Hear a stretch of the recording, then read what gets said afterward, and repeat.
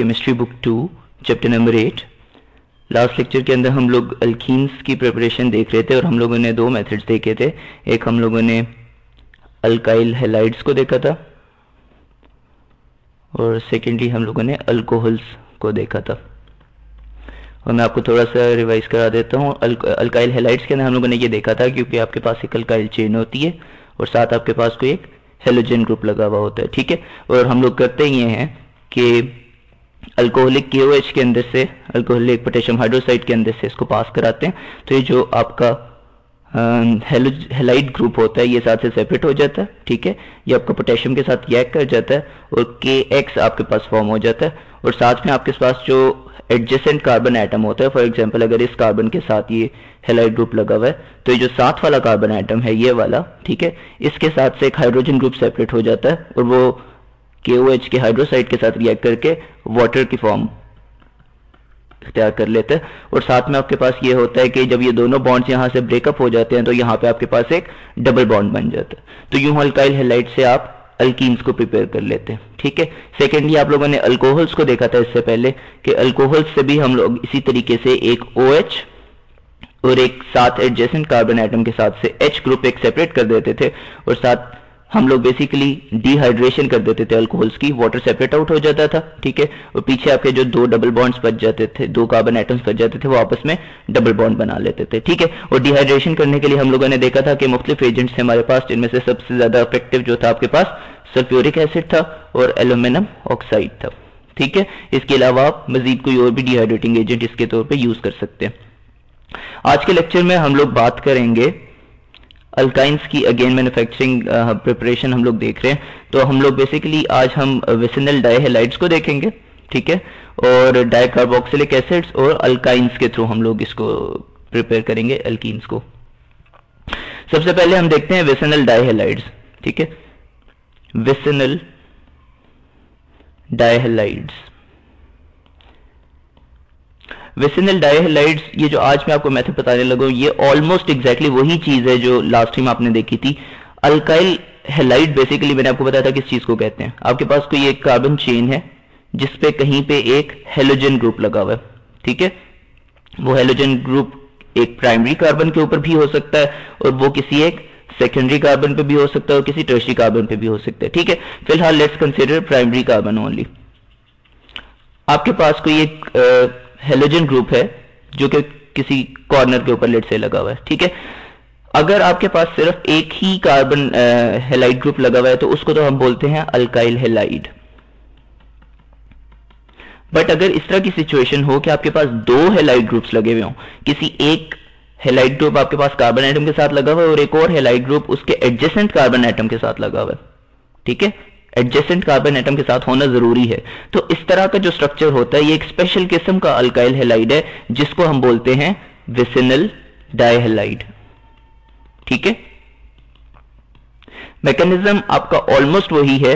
Alkyl halides के अंदर हम लोगों ने यह देखा था कि आपके पास यूँ कोई चीज़ होती है, एक एक्स होता है, और साथ जो एडजेसेंट कार्बन एटम है, इसके साथ एक हाइड्रोजन आप सेपरेट करते हो, और आप यहाँ से इस एक्स को और यहाँ से इस एच को रिमूव कराते हो। और कैसे कराते हो?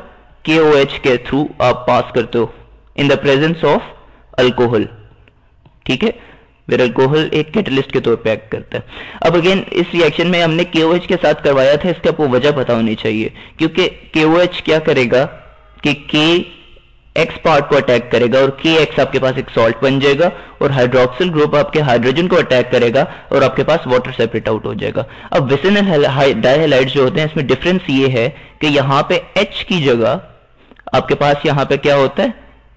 अगेन एक और हेलोजन ग्रुप ही लगा हुआ है, ठीक है? अब आपने दोनों हेलोजन ग्रुप्स को सेपरेट करना है तो अब के से काम तो नहीं चलेगा ना? अब हाइड्रोक्सिल ग्रुप एक और हेलोजन ग्रुप के साथ तो रिएक्ट कर ही नहीं सकता, दोनों नेगेटिव एंटिटीज हैं, ठीक है? तो फिर हमें किसी और चीज़ के साथ अब रिएक्ट करवाना होता है। वो कोई और चीज़ क्या होती है? अब आप खुद सोचो कि वो चीज़ क्या होनी चाहिए, ठीक है? एक यहाँ पे और एक यहाँ पे लेट से एक हेलाइट ग्रुप लगा हुआ है। वो चीज़ कोई ऐसी होनी चाहिए, पहली बात कि कोई पॉजिटिव एंटिटी होनी चाहिए, ठीक है? वजह बिकॉज़ एक्स के ऊपर नेगेटिव चार्ज होता है, यहाँ पे हेलाइट ग्रुप पे होता ही नेगेटिव चार्ज है, और यहाँ पे भी नेगेटिव तो कोई ऐसी चीज़ जो इन दोनों के साथ बॉन्ड बना सके, ठीक है? और इन दोनों को सेपरेट आउट अगर हम लोग कर दें तो फिर आपके पास एक डबल बॉन्ड बन सकता है। वो जो चीज़ है, वो आप जिंक नॉर्मली यूज़ करते हो, ठीक है? जिंक क्या करता है? जिंक का जो चार्ज है, वो आपके पास होता है जिंक प्लस टू ठीक है? इसका मतलब है ये दो नेगेटिव एंटिटीज को जो नेगेटिव वन के साथ हैं, उनके साथ ये बॉन्ड बना सकता है। यानी जेड एन एक्स टू आपके पास कंपाउंड बन सकता है। Z N C L two या जेड एन आई टू या Z N B R two या Z N F two depending के आप कौन से हेलोजन की बात कर रहे हो। ठीक है? तो बेसिकली जिस तरह लास्ट टाइम हम लोगों ने कहा था कि बीच में एक अल्कोहल की प्रेजेंस ज़रूरी है। अगेन आज इस वाले टॉपिक के अंदर भी अल्कोहल की प्रेजेंस ज़रूरी है, ठीक है? तो आप करते ये हो कि कोई भी आप विसनल डायहेलाइड लो, ठीक है? ये आपके पास लेट से कोई वेसनल डाइहेलाइड है, जो आपके पास दो हेलोजन ग्रुप्स हैं, ये कहीं पे भी हो सकते हैं। लेकिन ज़रूरी है कि ये एडजस्टेंट कार्बन एटम्स के ऊपर हो, ठीक है? ज़रूरी नहीं है कि ये कॉर्नर ही पे हो, लेकिन ये बीच में भी कहीं पे हो सकते हैं, लेकिन होने ये साथ साथ वाले कार्बन एटम मसलन एक ये वाला कार्बन एटम है और एक ये वाला कार्बन आइटम है, इन दोनों के साथ आपके पास दो हेलोजन ग्रुप्स लगे हुए अब अगर आप इसके अंदर से जिंक को पास कराओ, ठीक है, और in the presence of alcohol last time आप लोगों ने KOH के थ्रू पास कराया था in the presence of alcohol तो अल्कोहल के अंदर से जब आप पास कराते हो यूँ तो आपके जो दो एक्स ग्रुप्स हैं, ये आपके जेड एन एक्स टू बना देते हैं, ठीक है, और एक्स यहाँ से आपके पास सेपरेट हो जाता है। और जब एक्स सेपरेट हो जाता है तो फिर आपके पास क्या बच जाता है? यहाँ से ये एक्स हट गया ये वाला एक्स भी यहाँ से हट गया। और इन दोनों कार्बन एटम्स का एक एक बॉन्ड बच गया, ठीक है? तो ये बॉन्ड जो बच गया, ये दोनों आपस में एक डबल बॉन्ड बना लेते हैं और आपके पास करस्पॉन्डिंगली एक अल्कीन बन जाता है, ठीक है? सो ये है डायहेलाइड्स वेसेनल डायहेलाइड्स के थ्रू आपका अल्कीन्स की प्रिपरेशन इससे आप one two three wherever आप, जहाँ पे भी एक्स आपके दोनों लगे हुए हैं, उसी करस्पॉन्डिंग लोकेशन पे आपके पास एक डबल बॉन्ड आ जाता, ठीक है? जैसे लास्ट टाइम मैंने आपको कहा था कि ये जो अल्कोहल है ना, ये आप कोई भी अल्कोहल नॉर्मली यूज़ कर लेते हो। आप इसमें मिथाइल अल्कोहल यूज़ कर सकते हो। ठीक है? मेथनॉल यूज़ कर सकते हो। मिथाइल अल्कोहल या आप इसमें इथाइल अल्कोहल यूज़ कर सकते हो। ठीक है? मिथाइल अल्कोहल का फॉर्मूला आपके पास C H three O H और ethyl alcohol C H three C H two O H ठीक है? तो आप इन दोनों में से कोई भी यूज़ कर सकते हो। और करस्पॉन्डिंगली आपके पास एक अल्कीन प्रिपेयर हो जाता है। ठीक है? तो ये था सबसे पहला मेथड आज का दूसरा मेथड जो हमारे पास है, वो है डाई कार्बोक्सिलिक एसिड से प्रिपेयर करना। अगर आप इस चैप्टर को सीरीज़ में सुनते आ रहे हो तो आपको याद होगा कि मैंने आपको मोनो कार्बोक्सिलिक एसिड्स के बारे में बताया था। मोनो कार्बोक्सिलिक एसिड्स और मैंने आपको बताया था कि कार्बोक्सिलिक एसिड्स वो होते हैं जिनके अंदर आपके पास सी डबल ओ एच ये जो सब्सिट्यूएंट है, ये ग्रुप लगा। इसको सब्सिट्यूएंट नहीं बोलूँगा मैं। मैं इसको बोलूँगा ये फंक्शनल ग्रुप बेसिकली आपके पास लगा हुआ होता है, ठीक है?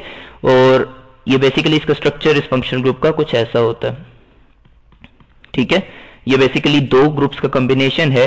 एक आपके पास कार्बोनाइल ग्रुप है और एक आपके पास हाइड्रोक्सिल ग्रुप है। और इन दोनों के कॉम्बिनेशन को कार्बोनाइल और हाइड्रोक्सिल को जोड़ दें तो ये कार्बोक्सिल बन जाता है। ठीक है? तो कार्बोक्सिल ग्रुप अगर ज़रूरी नहीं है कि किसी कंपाउंड में, अगर तो कोई कंपाउंड ऐसा है। लेट से कोई एक चेन है जिसके एंड पे सी डब्ल्यू एच लगा हुआ है। ठीक है? तो फिर तो हम इसको बोलते हैं मोनोकार्बोक्सिलिक एसिड लेकिन ज़रूरी तो नहीं है कि किसी में सिर्फ़ एक ही कार्बोक्सिल ग्रुप लगा हुआ है। कुछ कंपाउंड ऐसे होते हैं जिनमें दो कार्बोक्सिल ग्रुप्स लगे हुए होते हैं, और उनको हम बोलते हैं डायकार्बोक्सिलिक एसिड्स फॉर एग्ज़ाम्पल आपके पास है, कोई एक आर चेन है, ठीक है? सी सी और लेट से यहाँ से भी नीचे एक सी यहाँ से भी एक सी इस कार्बन एटम पे एक सी डबल एच लगा हुआ है, और लेट से के इस वाले कार्बन एटम के साथ एक सी डबल एच लगा हुआ है, ठीक है? तो ये जो आपके पास स्ट्रक्चर बना हुआ है, ये डायकार्बोक्सिलिक एसिड है, ठीक है? लास्ट टाइम आपको याद होगा कि हम लोगों ने सोडियम या पोटेशियम सॉल्ट्स के बारे में बात की थी। अगेन आज हम लोग सोडियम और पोटेशियम सॉल्ट्स लेंगे, कोई भी डायकार्बोक्सिलिक एसिड लेके। तो ये लेट से आपके पास एक डायकार्बोक्सिलिक एसिड है। ठीक है? और ये आपके पास कौन सा एसिड है? ये जो भी मैंने स्ट्रक्चर ड्रॉ किया है, ये है आपके पास ससेनिक एसिड ससेनिक एसिड जो है, इसकी स्पेशलिटी क्या है कि ये बेसिकली इथीन से प्रिपेयर हुआ। ठीक है? इथीन कह लो या इथेन कह लो, ठीक है? कि इथीन जो होता है, वो क्या होता है? सी सी और साइडों पे सारे एच लगे हुए होते हैं। अब आप क्या करो कि इनमें से दोनों कार्बन एटम्स के साथ से एक एक एच हटा दो। मसलन आप इस एच को हटा दो और इस एच को हटा दो, ठीक है? और इन दोनों लोकेशंस के ऊपर आप क्या करो? एक सी डबल ओ एच लगा दो। ठीक है? और इन दोनों लोकेशन पे जब आप सी डबल एच लगा दोगे तो जो आपके पास बचेगा, वो आपके पास होगा succinic acid C double H और यहाँ पे भी आपके पास सी डबल एच ठीक है? तो ये ससेनिक एसिड है, उसको थोड़ा सा मॉडिफाई करके इस फॉर्म में आपके पास ड्रॉ किया गया। अब हम जब इसके सोडियम में पोटेशियम सॉल्ट की बात कर रहे हैं तो उसमें ये होगा आपके पास के सी डबल एच के साथ, जिसे उसमें आपने देखा था कि R C double N A अगर आपको याद हो, ये मोनोकार्बोक्सिलिक एसिड के सॉल्ट्स होते हैं। इसी तरह डाइकार्बोक्सिलिक एसिड के सॉल्ट ऐसे होते हैं कि इसमें आपके पास यहाँ पे H की जगह आप Na रिप्लेस कर दो। ठीक है? अब, जिस तरह उसमें आपने देखा था कि R C W N A जो था वो डीकम्पोज हो जाता था ड्यूरिंग इलेक्ट्रोलिसिस तो इसमें भी आपके पास डीकम्पोजिशन हो जाती है और आपके पास एक पॉजिटिव और एक नेगेटिव ग्रुप बन जाता है। एक पॉजिटिव ग्रुप में तो सिर्फ़ सोडियम होगा आपके पास और नेगेटिव ग्रुप में आपके पास ये चीज़ होगी ठीक है plus two N A plus ठीक है दो सोडियम आपके पास सेपरेट हो जाएँगे और आपके पास H2C और ये पूरा आपके पास नेगेटिव ये जो पूरी आपके पास नेगेटिव चीज़ है अब इलेक्ट्रोलिसिस आप कर रहे हो तो ऑफ़ कोर्स आपके पास एक अदद एनोड होगा और एक आपके पास कैथोड होगा एनोड आपके पास होता है पॉजिटिवली चार्ज और पॉजिटिवली चार्ज के पास नेगेटिव एंटिटीज जाती हैं तो नेगेटिव एंटिटीज आपके पास ये आपके पास एक नेगेटिव एंटिटी है और ये एनोड पे जाएगी। और एनोड पे क्या होती है? ऑक्सीडेशन ठीक है? तो oxidation means removal of electrons तो इसके अंदर से इलेक्ट्रॉन्स रिमूव हो जाएँगे। मैं लिख देता हूँ ऑक्सीडेशन होती है एनोड के ऊपर which is removal of electrons ठीक है? तो यहाँ से ऑक्सीडेशन जब हो जाएगी तो ये दो ये दो नेगेटिव चार्जेस का मतलब ये है कि दो एक्स्ट्रा इलेक्ट्रॉन्स इस कंपाउंड ने पहले ही, इस रेडिकल ने पहले ही लिए हुए हैं, ठीक है? तो दो इलेक्ट्रॉन्स जो एक्स्ट्रा इसने लिए हुए उनको वो गिव अप कर देगा। तो यहाँ पे सी डबल ओ और यहाँ पे आपके पास एक डॉट आ जाएगा, ठीक है? इसको मैं यहाँ पे एक डॉट लगा देता हूँ इस पूरे के ऊपर। सिमिलरली नीचे आपके पास सी डबल ओ और इस पूरे के ऊपर एक डॉट आ जाएगा, और दो इलेक्ट्रॉन्स आपके पास सेपरेट आउट हो जाएँगे। ये दो इलेक्ट्रॉन्स कहाँ पे जाएँगे? ये दोनों कैथोड पे चले जाएँगे फिर। ठीक है? अब पहले हम देख लेते हैं कि कैथोड पे वो तो चले जाएँगे। फिर इसका क्या होगा? ये जो पूरी चीज़ बच गई है। आपको लास्ट टाइम याद होगा कि लास्ट टाइम कुछ ऐसा हुआ था कि आपके पास ये कार्बन डाइऑक्साइड की फॉर्म में यहाँ से सेपरेट हो गए थे ये दोनों चीज़ें। ये उस वक्त दो नहीं थी आपके पास, एक ही था और दो बेसिकली रिएक्टेंट्स थे आपके पास। ठीक है? इस केस में आपके पास ये कि रिएक्टेंट एक ही है, लेकिन इसके अंदर दो कार्बोक्सिलिक ग्रुप्स हैं, ठीक है? तो ये और ये वाला जो पार्ट है, ये दोनों यहाँ से सेपरेट हो जाएँगे और आपके पास बेसिकली बल्कि मुझे चाहिए कि मैं इसको रीड्रॉ कर लू आगे। ये जो पूरा आपके पास यहाँ पे बना हुआ है इसको हम कर लेते हैं कॉपी और फिर हम इसको कर देते हैं पेस्ट एज इट इज़ यहाँ पे। ठीक हो गया? ये जो पूरा आपके पास आ रहा है स्ट्रक्चर अब क्या होगा? इसके अंदर से कार्बन डाइऑक्साइड इस दफ़ा रिमूव हो जाएगा। ठीक है? और कार्बन डाइऑक्साइड जब रिमूव हो जाएगा तो इसके पीछे एक बॉन्ड दोनों का बच जाएगा। इसका भी और वो जो डॉट था, वो दोनों डॉट्स यहाँ पे शिफ्ट हो जाएँगे। और साथ में आपके पास कार्बन डाइऑक्साइड्स प्रोड्यूस हो जाएँगे, दो कार्बन डाइऑक्साइड्स प्रोड्यूस हो जाएँगे। बिकॉज़ ये जो पीछे आपके पास था एक अनस्टेबल फॉर्म थी, और ये आपके पास अब कार्बन डाइऑक्साइड रिमूव होने के बाद पार्शली स्टेबल हो गया, ठीक है? अब ये जो पूरी चीज़ है ना, ये अगेन अनस्टेबल है, ठीक है? इन दोनों को एक एक बॉन्ड बनाना है तो ये दोनों क्या करेंगे? ये दोनों आपस में एक बॉन्ड बना लेंगे H two C double bond C H two तो ये जो अब आपके पास चीज़ बन गई है, ये बेसिकली एक अल्कीन है। ठीक है? तो आपके पास एक अल्कीन प्रिपेयर हो गया। अच्छा ये तो भी हमने देखा ना एनोड के ऊपर जो रिएक्शंस हो रहे हैं। अब हम आते हैं कैथोड के ऊपर। कैथोड के ऊपर क्या हो रहा होगा? कैथोड के ऊपर आपके पास दो चीज़ें जाएँगी। एक होगा आपके पास वाटर और दूसरा होगा आपके पास because of electrolysis in the presence of water हम लोग कर रहे हैं। और सेकेंडली आपके पास जो चीज़ जाएगी कैथोड पे वो होगा पोटेशियम ठीक है? क्योंकि कैथोड इज़ नेगेटिवली चार्ज और केटाइंस कैथोड पे जाते हैं। और केटाइंस पॉजिटिवली चार्ज होते हैं। केटाइंस पॉजिटिवली चार्ज तो ये दोनों केटाइंस जाएँगे कैथोड के ऊपर, और इन दोनों में से जो है, जिसकी इलेक्ट्रोड पोटेंशियल जो है वो ज़्यादा है आप अगर चैप्टर नंबर सिक्स के अंदर मैंने डिटेल में पढ़ाया हुआ है कि आप कैसे चेक करते हो कि कौन सा जल्दी रिड्यूस होगा। कैथोड के ऊपर होती है आपके पास reduction and reduction is what gain of electrons ठीक है? तो इन दोनों में से किसी एक ने गेन करने हैं इलेक्ट्रॉन्स ठीक है? तो बेसिकली जो वाटर है, वो बहुत इजीली इलेक्ट्रॉन्स गेन कर लेता है पोटेशियम के नस्बत, ठीक है? तो वाटर की रिडक्शन ऐसे होती है कि वाटर जो है, ये चेंज हो जाता है दो हाइड्रोक्सिल ग्रुप्स के अंदर, ठीक है? और साथ में हाइड्रोजन प्रोड्यूस होती है। और reduction means addition of electrons तो यहाँ पे आपके पास इलेक्ट्रॉन्स ऐड होंगे, दो इलेक्ट्रॉन्स ऐड हो जाएँगे, ठीक है? ये आपको थोड़ा सा मुश्किल लग रहा होगा लास्ट टाइम मैंने आपको बताया था, ये कोई बहुत मुश्किल चीज़ नहीं है, आप यूँ इमेजिन करो कि वाटर के अंदर जो H प्लस है ना, दो H प्लस लो, और इन्होंने किया दो इलेक्ट्रॉन्स लिए तो ये क्या बना देंगे? हाइड्रोजन बना देंगे हाइड्रोजन मॉलिक्यूल बना देंगे, ठीक है?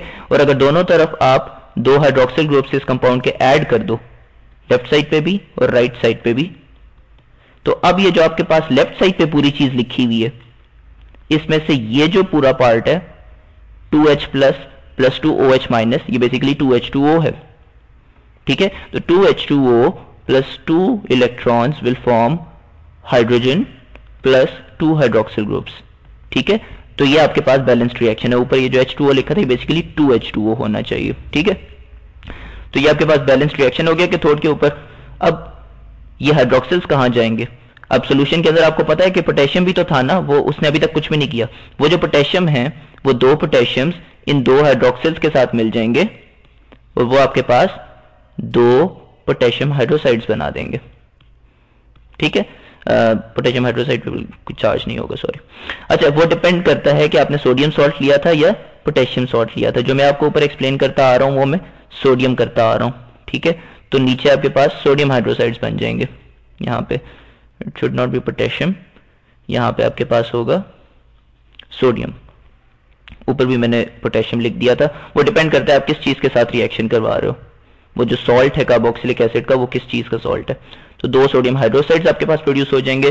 और बेसिकली इस पूरी रिएक्शन को अगर मैं सम अप करके लिखना चाहूँ, जो कोल्स इलेक्ट्रोलिसिस का है रिएक्शन वो ये बन जाएगा कि आपके पास एक सॉल्ट है। H2C C double O N A bonded by H2C C double O N A, इसको यूँ करके बनाया गया, वैसे एक स्ट्रेट चेन के अंदर आप इसको बनाओगे। सीधी लाइन में दोनों तरफ़ एक एक C double O N A C double O N A दोनों कॉर्नर्स पे लगा हुआ होगा, ठीक है? इसके अंदर, आपके अंदर वाटर ऐड होता है, दो वाटर के मॉलिक्यूल्स ऐड होते हैं, ठीक है?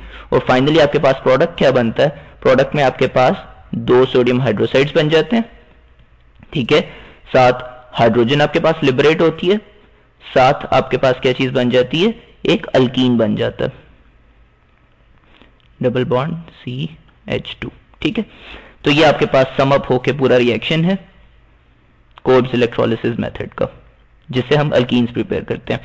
ये आपको मैंने ससेनिक एसिड के सॉल्ट से स्टार्ट की थी बात। ज़रूरी नहीं है कि ससेनिक एसिड ही का सॉल्ट हो। यहाँ पे ये जो H2 है, पीछे ये कुछ और भी हो सकता है। फॉर एग्जांपल आपके पास इस तरह की सिचुएशन हो सकती है। C C double O N A and C double O N A और यहाँ पे आर वन कर लो और यहाँ पे आर टू कर लो, ठीक है? और यहाँ पे एक एक एच और भी लगा हुआ है, ठीक है? अगर इस तरह की सिचुएशन होती तो इसके साथ दो वाटर के मॉलिक्यूल्स कंबाइन करते तो आपके पास बनता कुछ ऐसे कि दो सोडियम हाइड्रोसाइड्स बन जाते, आप डिटेल में इलेक्ट्रोलिसिस के सारे स्टेप्स चेक कर सकते हो कि यही बनेगा आपके पास, ठीक है? और साथ आपके पास क्या बन जाएगा? R one with a carbon double bonded by a carbon bonded by R two ठीक है?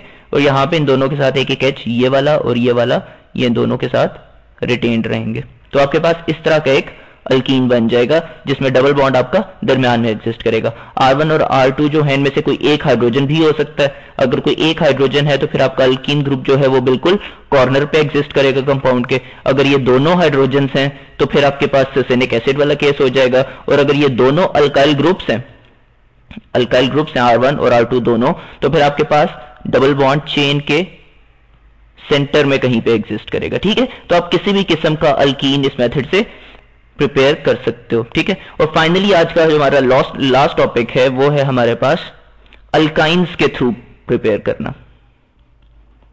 मैं आपको ऊपर एक चीज़ बता दूँ, ये जो ऊपर हमने जितना भी कोल्ड इलेक्ट्रोलिसिस मेथड देखा है ना, इसको हम लोग डी कार्बोक्सिलेशन भी बोलते हैं।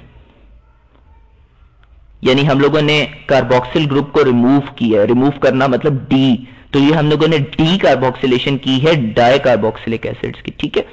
और लास्ट टाइम हम लोगों ने डी कार्बोक्सिलेशन की थी मोनो कार्बोक्सिलिक एसिड्स की। तो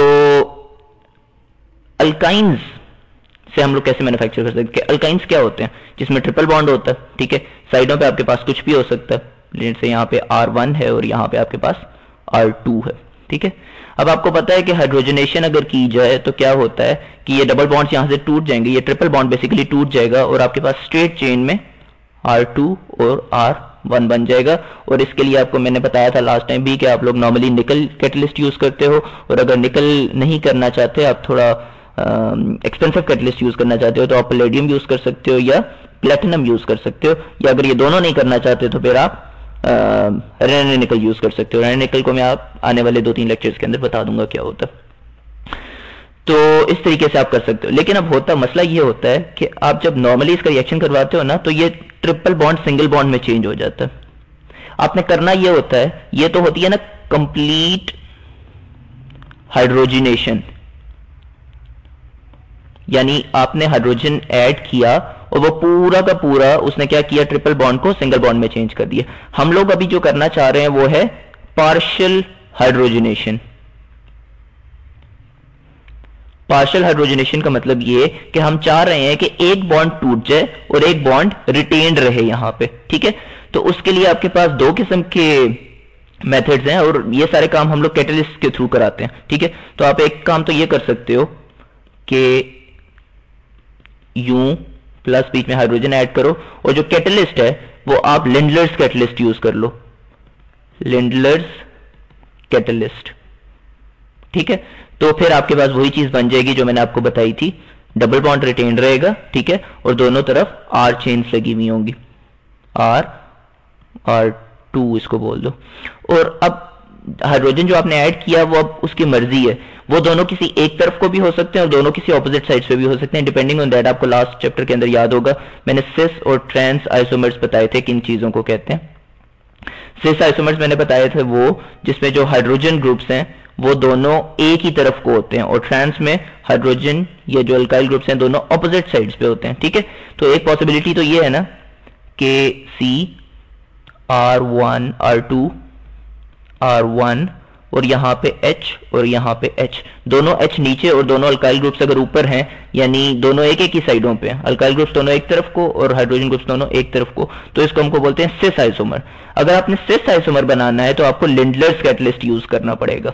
ठीक है? और अगर आपने ट्रांस आइसोमर बनाना है तो फिर आपको एक और कैटलिस्ट यूज़ करना पड़ेगा विच वुड बी सोडियम ठीक है? इन द सोडियम को आप क्या करते हो कि लिक्विड अमोनिया के अंदर डिप करते हो। एट वेरी लो टेम्परेचर ठीक है? Temperature of minus thirty three degree Celsius वो ऑफ़ कोर्स आप जब लिक्विड uh, अमोनिया की बात कर रहे हो तो वो वैसे ही बहुत कम टेम्परेचर के ऊपर लिक्विड होता है अमोनिया ठीक है? अमोनिया इज़ नॉर्मली गैस वो लिक्विड बनता ही तब है जब आप बहुत ही कम टेम्परेचर पे चले जाते हो ठीक है? तो minus thirty three degree celsius में आप सोडियम को डिप करते हो इसके अंदर तो ये कैटलिस्ट बन जाता है जो कि रिएक्शन के अंदर हेल्प करता है उसकी स्पीड कंट्रोल करने में, ठीक है? और उसकी वर्किंग कंट्रोल करने में। तो फिर आपके पास ट्रांसआसोमर बन जाता है। और ट्रांसआसोमर क्या होता है कि उसमें ऑपोजिट साइड्स के ऊपर अल्काइल ग्रुप्स और हाइड्रोजन ग्रुप्स होते हैं आपके पास, ठीक है? यानी यहाँ पे आपके पास एक H और यहाँ पे आपके पास R2 बन जाएगा। अगर आप ये वाला कैटलिस्ट यूज़ करोगे और लिंडलर्स कैटलिस्ट जो कि आपके पास बेसिकली प्लेडिन प्लेडियम होता है बेरियम सल्फेट की सरफेस के ऊपर आप प्लेडियम को फैला देते हो, ठीक है? और केनोलिन एक कंपाउंड है, उसकी प्रेजेंस में, ये आपके पास होता है लिंडलर्स कैटलिस्ट ठीक है? ये लेक्चर बहुत ज़्यादा एक्सटेंड होता जा रहा है। इसके ऊपर थोड़ी सी हम बात इससे नेक्स्ट लेक्चर के अंदर कर लेंगे, जिसके बारे में जिसमें हम लोग बेसिकली रिएक्टिविटी डिस्कस करेंगे कंपाउंड्स की reactivity and physical properties alkenes की, ठीक है? उसके अंदर हम लोग थोड़ी सी डिटेल में बात कर लेंगे लेंडलेस कैटलिस्ट की और पार्शियल हाइड्रोजनेशन की।